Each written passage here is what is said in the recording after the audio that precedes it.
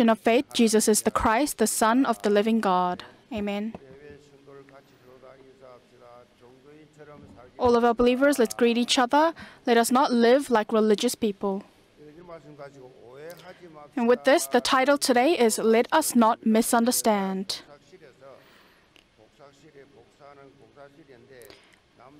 So, this is something that happened in a company copy room. And so a female employee who did not have a boyfriend entered the copy room and saw the most handsome male employee in the company making copies. And so as soon as she entered the room, she felt like her heart was pounding. And suddenly that male employee who was very handsome looked at her and said, I'm halfway done, which in Korean actually sounds the herd it, actually sounds the same as I fell in love with you.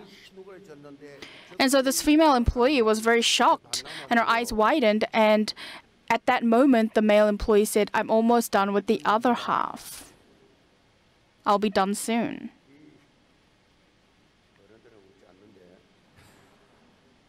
So I'm not, I'm realizing that not a lot of adults are laughing at this joke but actually it was the misunderstanding of this female employee.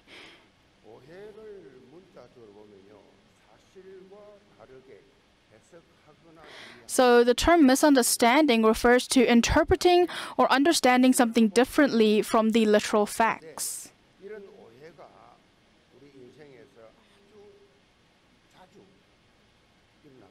But this misunderstanding actually happens quite frequently in our lives, and it causes many issues in our lives, even causing rifts in relationships.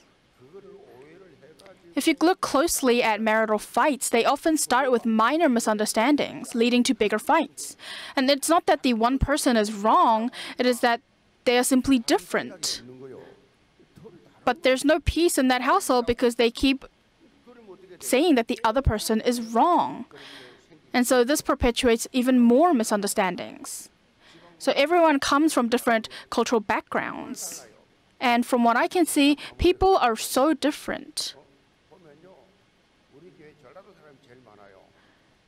And they're different according to their regions as well. Especially in our church, we have many people that come from the region of Chollado. And I, when I see the report for the flesh and bone evangelism movement, there's so many Cholado family members.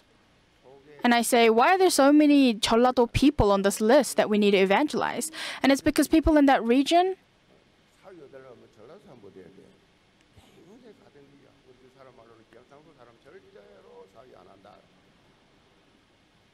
they're very family oriented.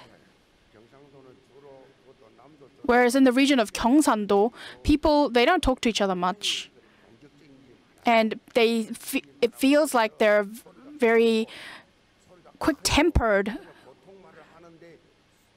and they talk very loudly. And so when other people hear people from Gyeongsangdo speaking, it sounds like they're trying to fight with you.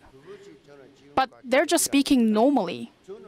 And that's something that I can't even fix to this day. I'm just talking normally, and people say, Why are you yelling? And I just say, I'm just talking. And so these cultural differences, they it's hard to solve them. And so they cause misunderstandings.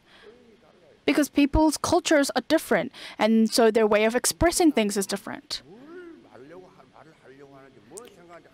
And especially for people from Chungcheongdo, they don't express much, so you don't know what they're trying to say, you don't know what they're thinking, because they don't express anything. And so people also judge according to their own thoughts and they misunderstand and then they become hurt. And there's an old saying that means even if someone speaks with nonsense, understand it like it makes sense. And this is an expression that actually causes more misunderstanding. It is completely unreasonable to expect something to be understood when someone is speaking nonsense. So are you talking nonsense and hoping to be understood? If you speak nonsense, the other person will understand nonsense. That's what is normal. And therefore, it is crucial to communicate in a way that avoids misunderstandings, even if you say one, one word. And this is especially the case with people that we are close to, the people that you meet often. You need to be careful about your words. You need to keep your manners. You can't think, oh, they'll understand, they know my personality. Because that will cause mistakes the closer you are. And so, in my case, when I meet my closest friends, I'm very careful, even though I'm closest to them. The closer I am.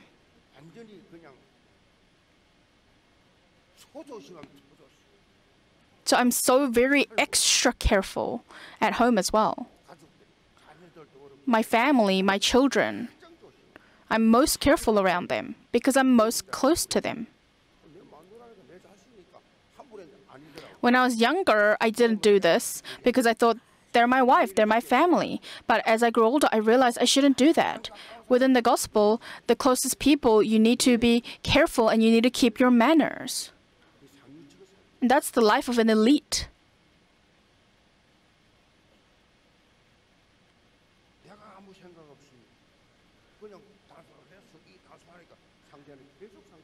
So, speaking thoughtlessly, people will be hurt because of you and will bring more misunderstandings.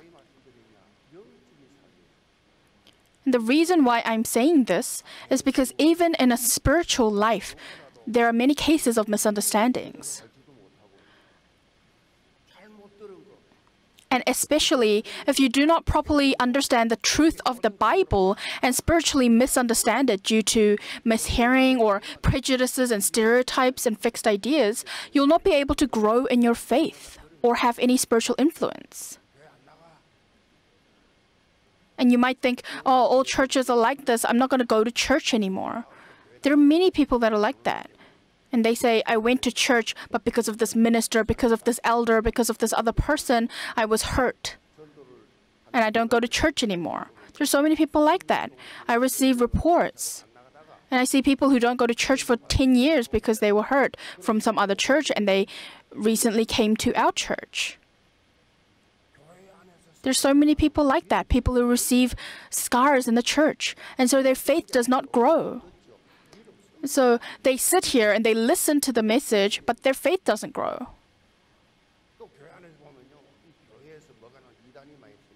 And especially these days, there are a lot of cults or heresies in our church. And we have the Shincheonji and the Church of God associated with Ahn Sahng-hong and Jehovah's Witnesses.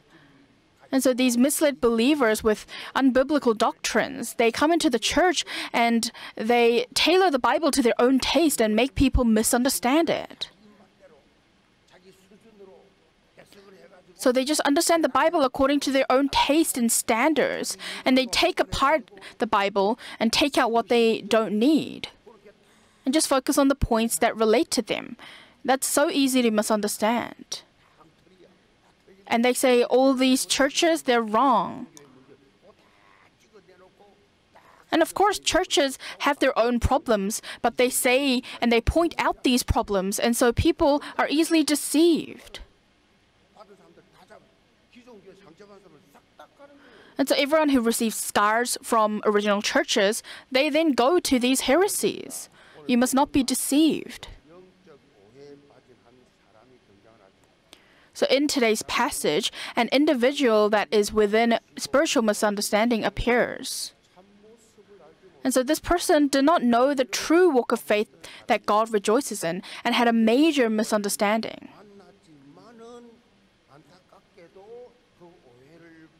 However, despite meeting Jesus in person, he unfortunately failed to resolve the misunderstanding. Even after meeting Jesus, he couldn't understand. And so it is one of the most tragic scenes in the Bible.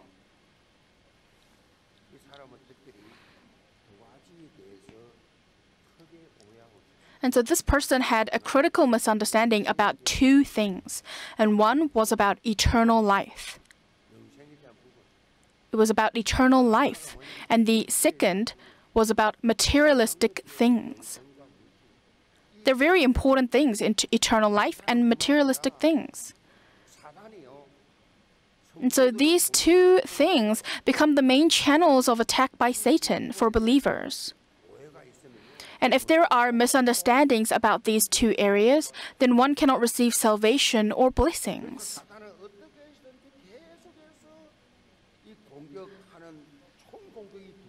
So Satan continues to launch all out attacks to keep people among these misunderstandings. So may all believers of Yewon Church have the opportunity to clear up any misunderstandings hindering their spiritual growth through today's word.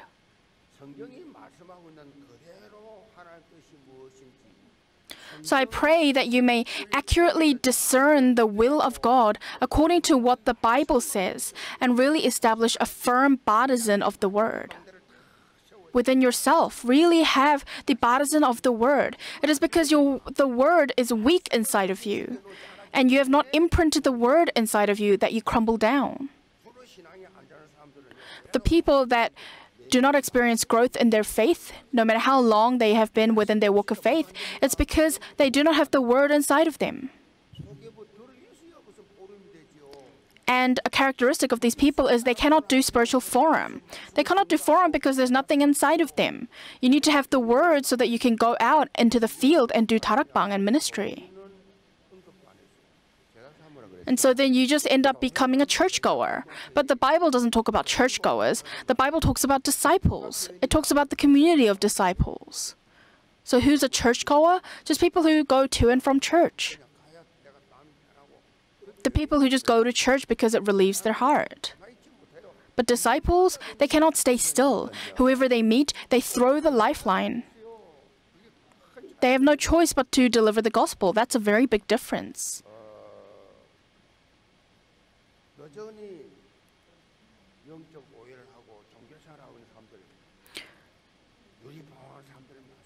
And there are still many people who are within spiritual misunderstanding and engaging in religious activities and who are wandering aimlessly without knowing the true way of salvation, heading towards eternal destruction. There's so many unbelieving souls like that. So I bless you in the name of the Lord to become absolute disciples of Christ who go beyond this and really have the heart of giving the accurate gospel to these people. So, the first main point the misunderstanding about eternal life. Verse 17 reads And as he was setting out on his journey, a man ran up and knelt before him and asked him, Good teacher, what must I do to inherit eternal life? As Jesus was walking along the road, a man approached him and knelt down before him and asked the question He asked, Good teacher, what must I do to inherit eternal life? So, according to this passage, this man was very wealthy. And in Matthew chapter 19, we can see that he was a young adult. And in Luke 18, he was referred to as a ruler. So, in other words, he had. He was young and he had a high position or a good job in society. And in other words, he was equipped with all the conditions that people in the world might envy. Because he was young with wealth, honor, and power, and he seemingly lacked nothing. Mm. However, just because he had, the, had these things, it did not mean that he lived rashly. He was a model young adult who was born into a traditional Jewish, Jewish family and had diligently observed the law since childhood. And so in a recent young adult special lecture, I used the terms hakike, which is an abbreviation for a Korean word meaning a fraud character.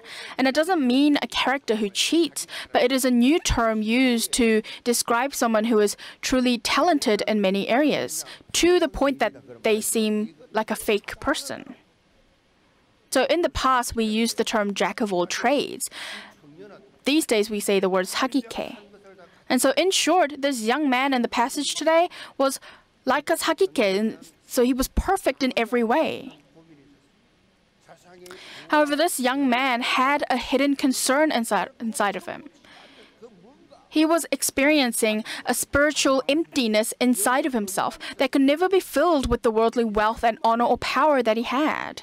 And it's not just him, it's everybody else as well no matter how well you are doing in the world.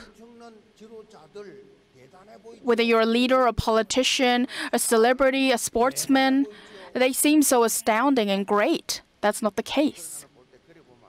You shouldn't look at those people like that.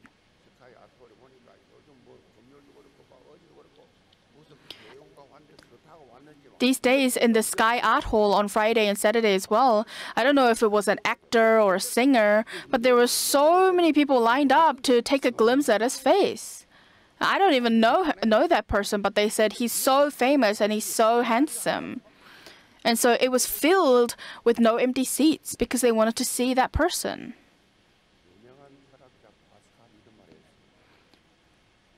And a famous philosopher Pascal said,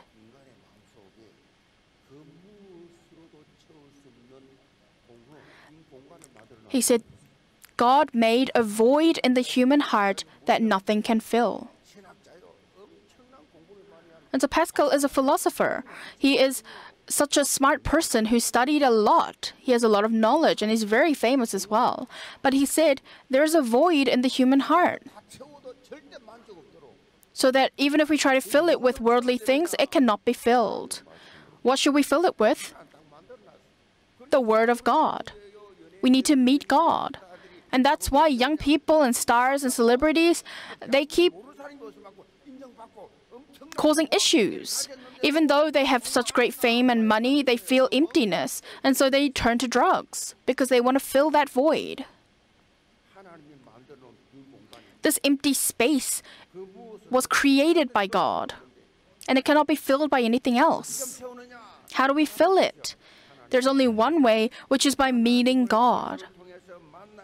We must meet God through Jesus Christ. Only then will that void be filled. And so this young man in the passage was troubled by the fact that he could not fill this void through how he had lived his life up until that point.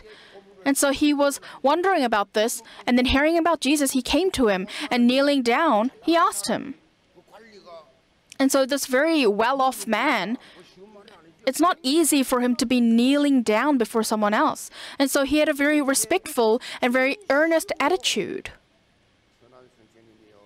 And so he asked, Good teacher, what must I do to inherit eternal life? What can I do to fill this void inside of me?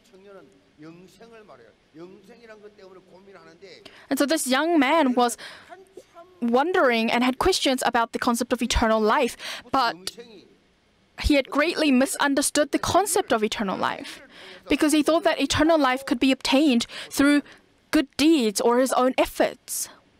That was the prejudice that he had. And this was not just a problem of this individual. It was a common belief among the Jews of that time, and even now among religious people, a lot of people believe this.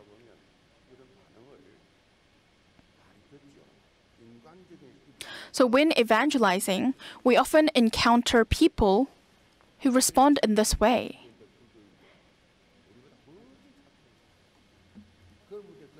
Especially people who are really kind.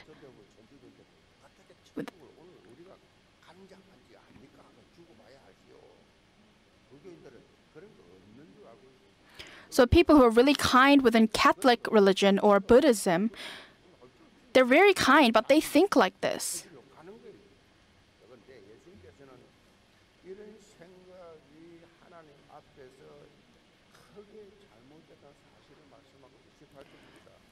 However, Jesus points out that this way of thinking is incorrect before God. Verse 18 reads, And Jesus said to him, Why do you call me good? No one is good except God alone.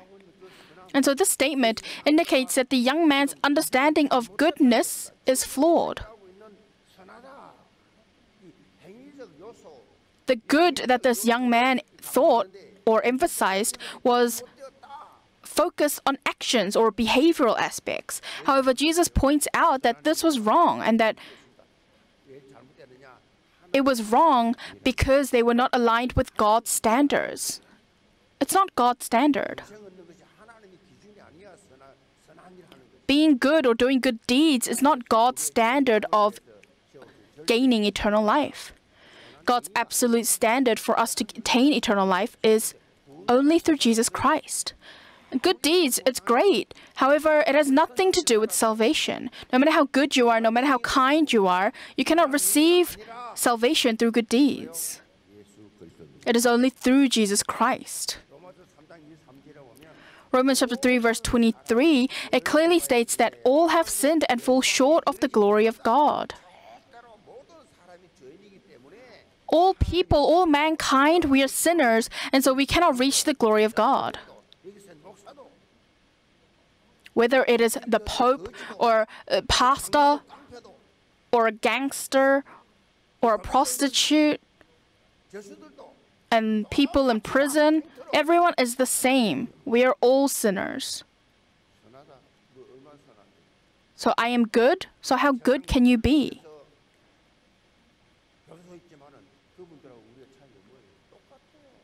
people break the worldly law and they end up in prison, but we're all the same. We are all sinners. You must know that. People who think, I'm cleaner than you, you become conceited that way, and you're judging. It's a very funny thing to say. How could you criticize other people? Because it says, all have sinned. And in Isaiah chapter 64, verse 6, it says that all our righteous acts are like filthy rags. And so look at look at priests. They say, I'm different from you.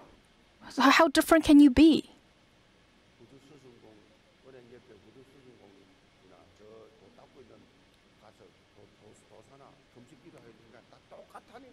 someone who fixes shoes, or someone who goes up the mountain to pray. Everyone is the same. So when I was just a lay believer, I went up into the mountain to pray, not just in the prayer um, building, but beyond that, there was this cave in the mountain where we would pray. And so people would occasionally put water there. And so you were just there at the top of the mountain praying. And so you don't eat and you've prayed in the mountain, and so it feels like you have a really clear mind. And so then I came to church after that, and I was at the Wednesday worship, and I felt like everyone else at the church was lesser than me. And so, really going into fasting and receiving grace through prayer, it was really easy for me to become conceited.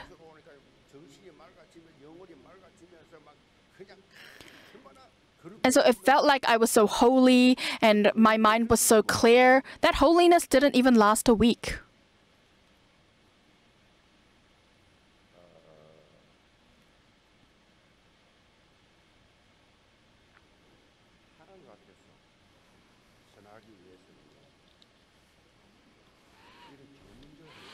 So, to be good before God, the problem of sin must first be resolved.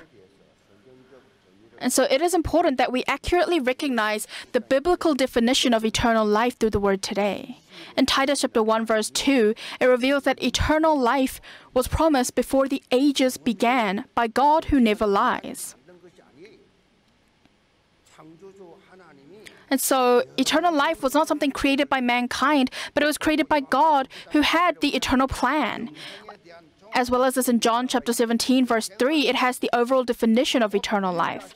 It says, And this is eternal life, that they know you, the only true God, and Jesus Christ, whom you have sent. That is eternal life. It is to know you, the only true God, and Jesus Christ. And in this context, to know does not simply mean understanding through knowledge. It means a unification through faith.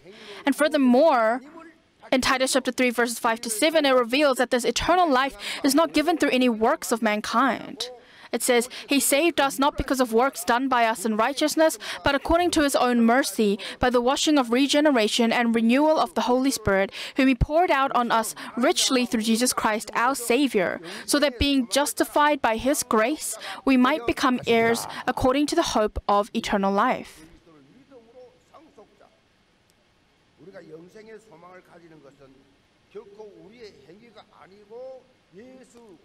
And so it proclaims that the hope of eternal life that we have is not achieved by our actions, but through the atonement and resurrection of Jesus Christ on the cross.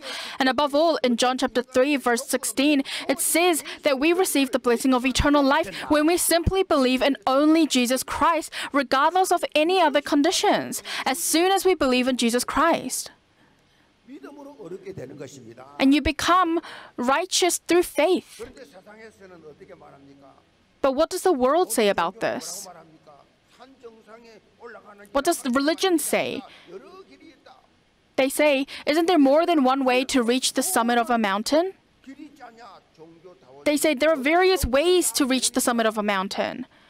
And it's religious pluralism. Many people are deceived by this.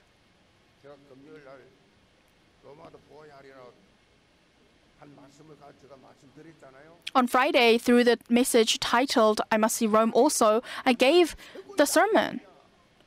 I said the greatest masterpiece that Satan has created is the Catholic religion. And so people are easily deceived by this Catholic religion. People feel like they need to go to church, and so they go to church, but then there are pastors who talk about offerings and church construction and all of that and various problems. And so they become tired of the church. And then they go to the Catholic religion, where it feels like the same church, and yet there's a sense of silence. And they think it talks about the same God, it talks about Jesus, and it feels very comfortable. And so they feel like it's very nice to go there, and it feels like a nice atmosphere. It's the greatest masterpiece of Satan.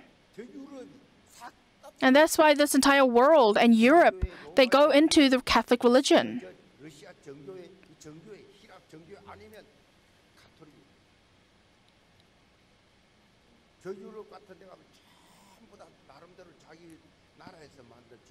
And so it's either the Orthodox Church that they created in Russia or it's the Catholic religion. So they've created so many churches. However,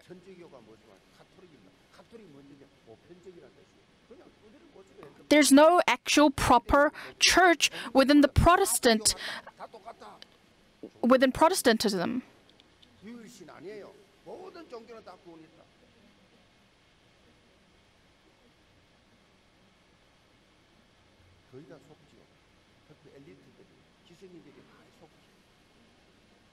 And so many people are deceived by this, and especially elites as well, because it's so different to a church. And yet, is there salvation? There is no salvation. It's a religion of idol worship. They have so many statues. I heard some people said, how come Yewon Church doesn't have a cross? Because even a cross symbol, it's an idol looking towards a cross statue, that's, that's an idol. So just look to Jesus Christ. That's why I don't have one in the church. Of course, it would look good to have one, but it said in the Bible, do not make idols or statues.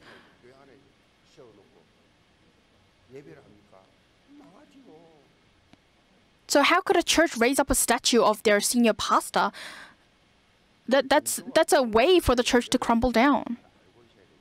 And so you must really be well informed about the difference between religion and the gospel. So religion emphasizes the works of human.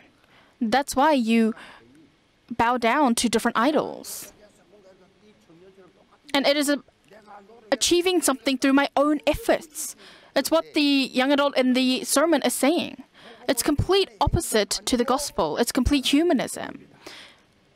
The gospel was not given based on any human actions, but through the absolute grace of God. And so eternal life is a gift from God. And God chose this way so that not one person could boast about it. No one can say, I did this and I did so much devotion, I did so much efforts, I did so much fasting so that I could receive this. No one can say that what was the reason that God did this? It is so that we do not look to people who are incomplete. And you might think when you look at someone, how could they do that? They can do that. And so you can say, oh, this is why it's only Christ. So only look to Jesus Christ. And it says in the Bible, and this is the testimony that God gave us eternal life, and this life is his is in his son. Whoever has the son has life. Whoever does not have the son of God does not have life. It is very simple. Those who have the son of God, what do they have? They have life. Do you have the son of God? And that's why the acceptance movement is important. Not just doing it without thinking, but really knowing the meaning behind the acceptance. But there are too many souls in the field right now who are being deceived and they misunderstand that salvation is in other things that are not Christ. So right now we have so many cults and heresies that are misleading and deceiving people. There are so many people that are within those heresies. And this is why we are unfolding the Start 10,000 2025 movement that enlarges the place of our four main tents. And so the next Lord's Day is the D-Day of the short-term absentees and newcomers invitation camp that the province committee is currently proceeding with. And so I'm sure many believers are already participating, but really may all of you make a covenantal challenge in concentration this week. To the people around you, to the unbelieving souls around you, really give the gift of eternal life to them. And really have the assurance as you give it to them. Only when you accept Jesus Christ even if you are a murderer, you can receive salvation. That's how you evangelize in prison. And so I really bless in the name of the Lord that you'll be able to enlarge the tents of your fields. The second main point, the misunderstanding about materials. Verse 21 reads, And Jesus looking at him loved him and said to him, You lack one thing. Go sell all that you have and give to the poor, and you will have treasure in heaven, and come follow me. 영원한 생명을 얻을 수 있다고 착각 속에 빠져 있던 이 청년에게 And so, to the young man that was within the misunderstanding of thinking he could gain eternal life through his own good deeds, Jesus asks one decisive question. 들어보고 계셨지요. Jesus already saw through this young adult's heart. And so, although seemingly perfect externally, he knew that this man's heart was captivated by none other than materialistic things. And so the one thing lacking from this young adult was that he loved materials more than God. And so Jesus urged this young adult to no longer be bound by materials going forward and to change his priorities. But verse 22 says, He was disheartened by the saying, and he went away sorrowful, for he had great possessions. So Jesus said, Sell all you have and give to the poor. But he has great possessions. And so he might think, I spent my whole life for these materials and gathering these materials. And so it's really a pitiful moment in the Bible because he was so miserable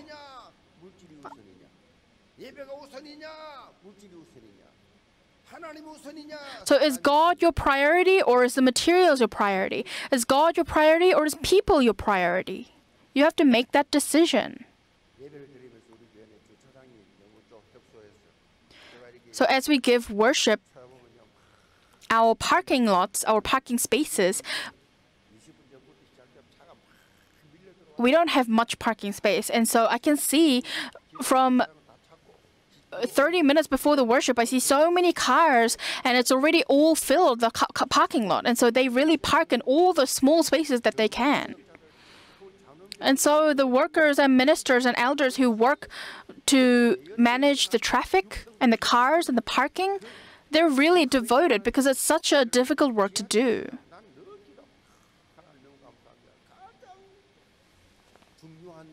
And so I always pray in thanksgiving.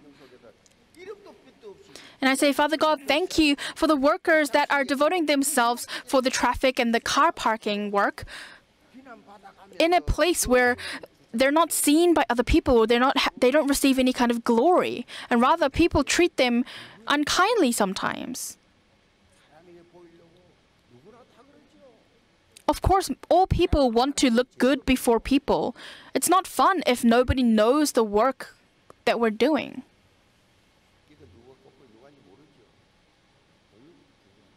However, the people that are in those places doing the unseen works, they're the most precious.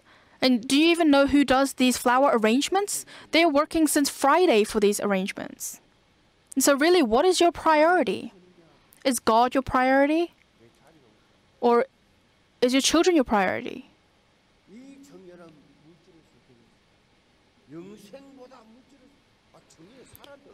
For this young adult, he chose his positions before God.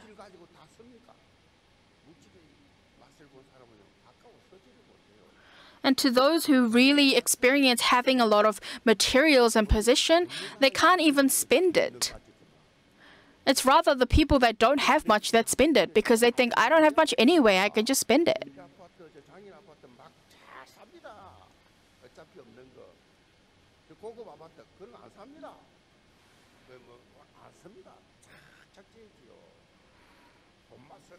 And so the the disabled people that live nearby who have been given these apartments to them, they spend a lot because they think I don't have much anyway. It's rather the people who have a lot in high society that they don't they don't spend much. And so to this man, when he was faced with the question of whether it was his materials or eternal life, he chose his materials. To us, as we watch, it sounds like such a pitiful decision. Just because you choose eternal life, does that mean God will make you live a life in poverty? That's not the case. This young, young man chose his materials. And so this was the idol that he could not let go of. So he could do everything else but not give up his materials. And so, what is the one thing that you lack?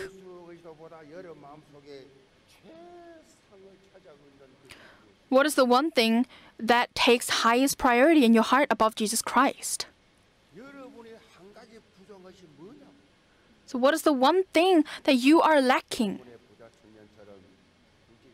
Is it materials like this rich young man in the passage? Or is it honor, knowledge, power, reputation, or your own children? And so the method to fill that one inadequacy is not somewhere else, but it is actually in letting go of that very idol that you are holding on to. And so for a lot of parents, their children are their idols. And they want their children to become someone grand in this world. And they believe that they will. But really, put that all down. You must let that go. Why is your faith not growing? In verse 23, Jesus says after the young rich man left, he said to his disciples, How difficult it will be for those who have wealth to enter the kingdom of God and he even stated the analogy it is easier for a camel to go through the eye of a needle than for a rich person to enter the kingdom of God. So he's explaining that material serves as a large obstacle in the path of gaining eternal life. And that's why we have finished church construction. But really, it was a way for God to continuously test us.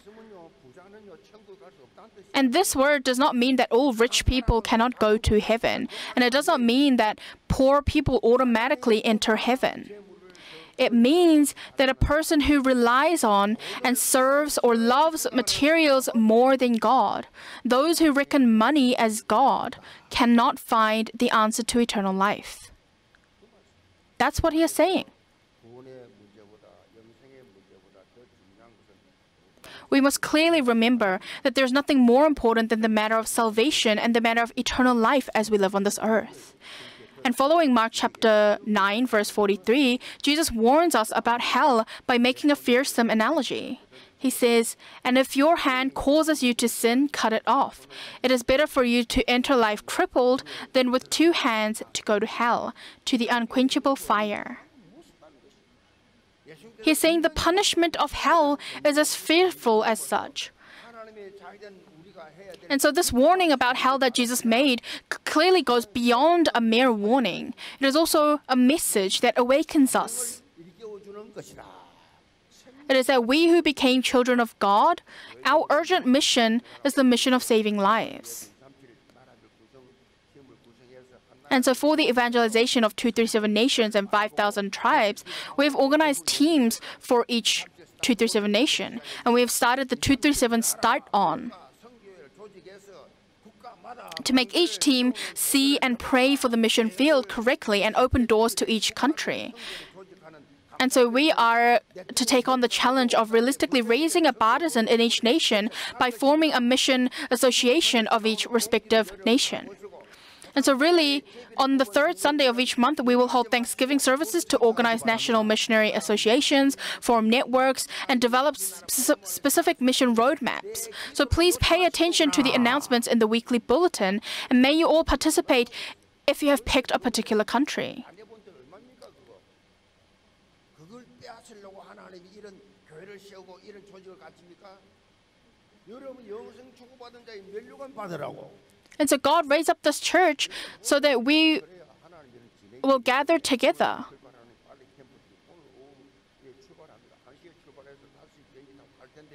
And so today, the Bali camp team is leaving. And they're not going because they have a lot of time and a lot of money. They're people that made the resolution. And I saw their schedule, and it was so fully packed. And I saw that they go back to back to the place that they're staying at 1 a.m. and then their next day schedule starts at 7 a.m. And I was so surprised by this busy but perfect schedule that they had. And so they had communicated with the Bali church already. And so, in order to proclaim the gospel, they're going to the land of Indonesia. What's the reason that they're doing that? So, believers, really set your priorities.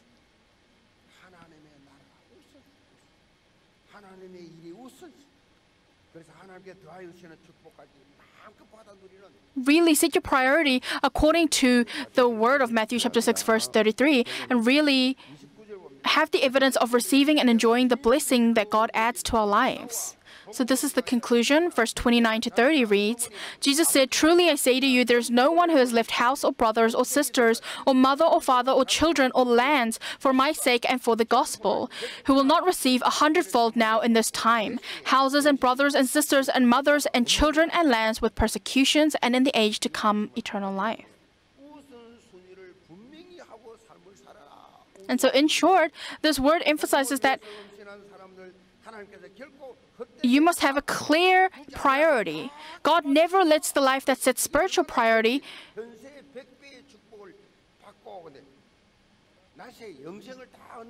to be in vain. He always repays a life that has the correct spiritual priority. And this blessing is so great. It is a complete blessing. And so he says, I will let you live a life that is completely guaranteed. And it talks about ha- having a hundredfold of answers. And so, really, I bless all Yewon believers in the name of the Lord to have the evidence of receiving and enjoying these guaranteed blessings through the covenantal challenges. Father God, at this time we have received the word. Please let us be able to Go beyond our misunderstandings of eternal life and of materialistic things, and let us become the people of God and the disciples of God who go forward with only the gospel. We pray in Jesus Christ's name. Amen.